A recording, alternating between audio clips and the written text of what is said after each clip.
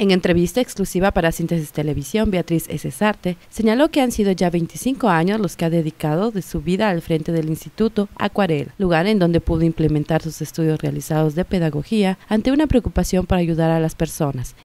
Y quise buscar una, una corriente pedagógica que ayudara a la persona a pues a trascender, pero también como utilizando su cuerpo. En realidad, de los grandes eh, problemas que yo encuentro en nuestro, en nuestro sistema educativo es que la atención que le ponen al cuerpo es muy baja, es muy poca, y en realidad lo que traté de hacer es combinar el espacio acuático con el cuerpo para ayudar a la, a la mente y al espíritu, ¿no? O sea, como dándole al cuerpo una importancia mayor. Por eso eh, la acuasomática se refiere al trabajo que hacemos con el agua, con el cuerpo y la autoconciencia de la persona en relación consigo mismo en un medio distinto que es el agua en este sentido, Cesarte Pesqueira indicó que la educación acuasomática es la conexión entre el ser humano y el agua, por lo que considera como fundamental para mejorar la salud, pues el agua permite el equilibrio entre la mente y el cuerpo.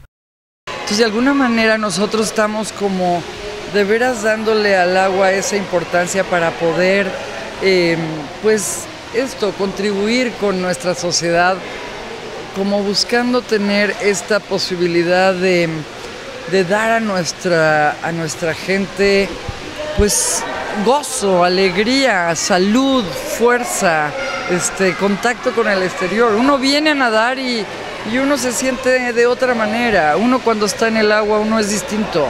Uno se mueve distinto, uno piensa distinto, uno actúa distinto. Finalmente, de Cesarte destacó que gracias a la fuerza de su familia ha sido posibles todos los éxitos que en su haber ha conseguido, así como amar profundamente esta tierra.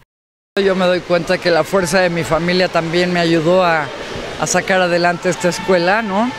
Pero bueno, pues es también para mí un orgullo este, como recibir este espacio que es de mi familia, ¿no? Para eh, servir a nuestra, a nuestra Oaxaca querida, porque sí, esa, esa ha sido una constante en mi familia, la búsqueda de realmente servir, de realmente ayudar y de, contribuir con nuestros granitos de arena para hacer algo bueno de este lugar.